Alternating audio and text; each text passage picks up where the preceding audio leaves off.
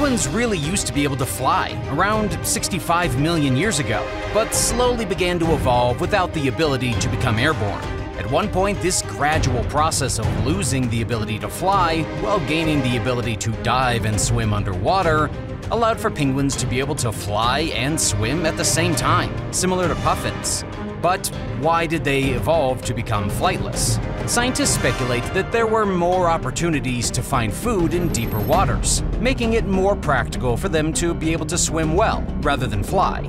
During this evolutionary process, they became heavier, their wings became flatter and less flexible, and their bones became denser, all in preparation to make them strong swimmers.